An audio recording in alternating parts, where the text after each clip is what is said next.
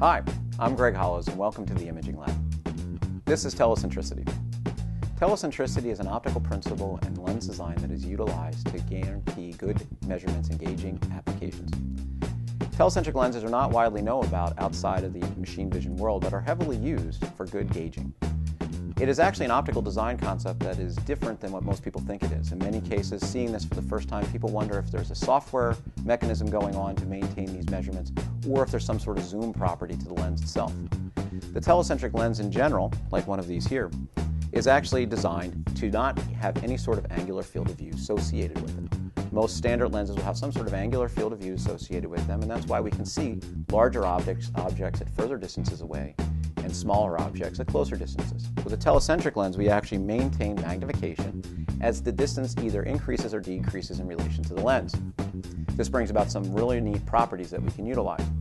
As one example, these two cubes that we have here. With a standard lens, if I put them at two different distances away, they'll appear to be different size objects. This is something that we're very used to, like when we drive a car or something like that.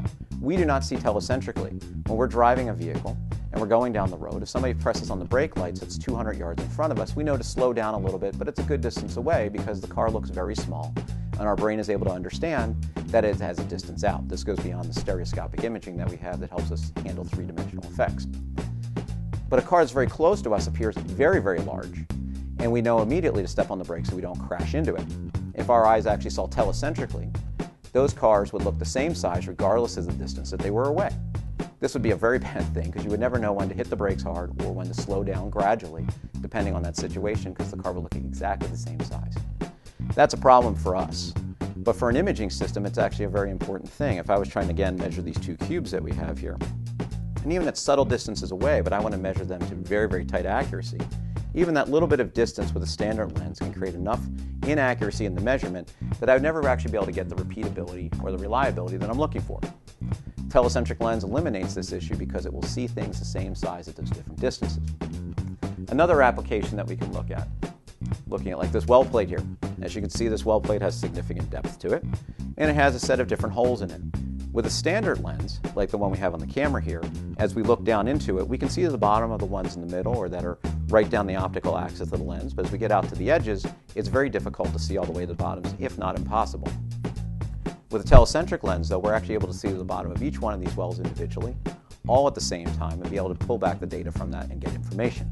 Very helpful in those sorts of applications. As we can see in the slide here, when we think about how magnification changes, where we're going to look at a conventional lens and a telecentric lens together side by side. What we're going to look at here is a group of pins that are pointing up at the lens, and we're going to see how they're actually imaged. With the conventional lens, you'll notice that the pins are actually looking like they're skewed from the center of the image. They're moving further apart, it appears as they get closer because our magnification is getting higher. They're getting closer together the further away they get, they get because the magnification is getting lower in the system. The same way our eyes see things. With a telecentric lens, they actually see things at the same field of view all the way through this depth that we're looking at. Thus, when we look at them from above, they look like four spots. Another thing that we look at this as we look at the next slide. You can see some cutaways of those pins represented by the individual circles. We can see how the blur patterns, if you were thinking about the ones at the top and the bottom or out of focus, would actually look ovicular when you look at the conventional lens as opposed to being concentric when looking at the telecentric lens. This brings about some neat properties that we're going to look at in a minute and how they can be used even when out of focus. Some other applications, as we can see in the slide here, we would be able to actually look at a set of jumper pins that are at different levels and actually measure their displacement. We'll notice in the slide that we have one pin that looks a little oblong in the image and the software information that's wrapped around it is oblong. The real world center and the actual measured center of this object are in two different positions because the pin is sticking up towards the camera, it's off to the side, and it's imaging at an angle because of this change in magnification of the system. It makes it difficult to determine exactly where it is in real world space and its distance to the pin next to it, or on a pin that's at a different level. With a telecentric lens, the real world position and that actual perceived position by the camera is in the same exact position from center to center, and we're able to measure spacing even on things that are out of focus That's where we get into some of the depth of field things that go on with telecentric lenses.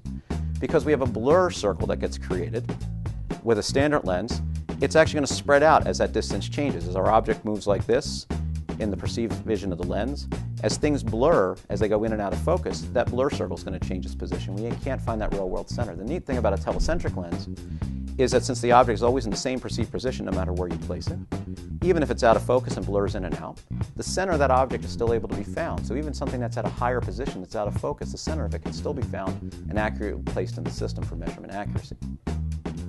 Some other things that telecentric lenses have as a part of them. It's uh, been understood that telecentric lenses have better depth of field than other lenses. This is actually a, a misnomer. It is actually related to the f number of the lens and due to the fact that those lenses in general cases have very, very high resolution to them and are manufactured to tight tolerances in many cases, actually give you the feeling that you're getting better depth of field than maybe a traditional lens. But it's actually the f number of the system that drives it and not as much the actual telecentric lens versus a non-telecentric lens. Another thing about telecentric lenses, and here's one of the difficulties that they have.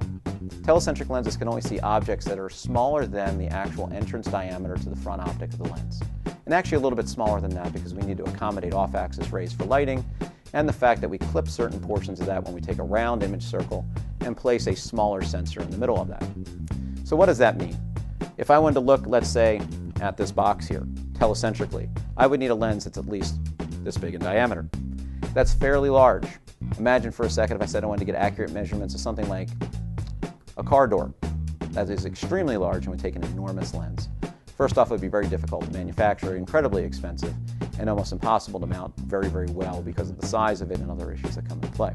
You also wouldn't want to hang something like that off the end of the threads of your camera. You could have a real problem. So what really gets into play there is telecentric lenses like these can see 40, 50 millimeter fields of view, about two inches. Some of the larger ones that are available on the market go up to maybe four to six inches, and the biggest out there that are usually available through custom ordering is somewhere in the 12 to 14 inch range get very, very large, very, very expensive. These lenses could be as high as this tall off of the floor in some cases to be able to get the measurement accuracy, the resolution, everything else that you need. They also drive a very high price at those sort of ranges. So that is one of the drawbacks of those lenses. So if you're going to be using something that needs a high amount of measurement accuracy and you're going to consider a telecentric lens, something like these are medium sized, but many get so much larger they have to be accommodated into the system before the rest of the system is built around it. In many cases, when looking for a telecentric lens at the end of the design cycle, the machine's already been built and all the apparatus is in place, and there's actually no room to accommodate something of this size. So if measurement accuracy is key to what you're doing, you need to think about it beforehand in order to be able to accommodate it into your system. That is an overview of telecentricity. There is more advanced material that will be coming up later on it. Thank you for watching. You can also click on any of the links to take you to another subject of interest.